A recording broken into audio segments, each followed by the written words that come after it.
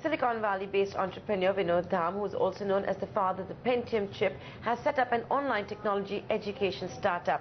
Megha Vishwanath caught up with him to find out if he's looking to invest in Indian startups ecosystem and what made him turn entrepreneur all over again. An entrepreneur turned venture capitalist. Vinod Dham is making an entrepreneurial comeback after 15 years with his new venture, Acadgild. Focused on teaching software programming to users mainly in the United States, Acadgild is partnering with mentors in India. Numbers suggest that the US has a shortfall of 2.5 million industry-ready software professionals. And that's exactly the opportunity that Dham wants to bet on.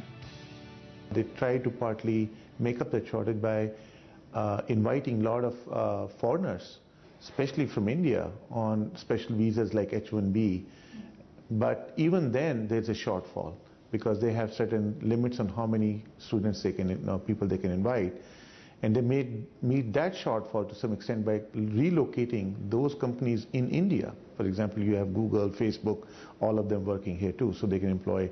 Even then, they have a shortage. So there is a severe shortage, and that's why we chose this to be our theme.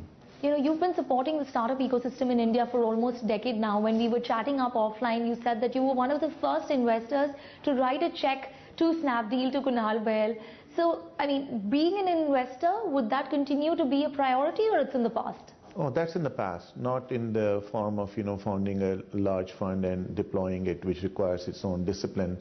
But I'll continue to always uh, invest as an angel investor in companies that interest me and uh, my passion is in. What is your take on this entire comparison um, of the Silicon Valley and India? You, are you from the same school of thought? What is your take on that? Yeah, no, I think I'm very, very happy to see how the venture capital ecosystem in India has taken off in last 10 years. It's very nascent and still doing extremely well from where it is compared to US, which is about 40 to 50 year old venture capital. So you have to compare an adult with a baby.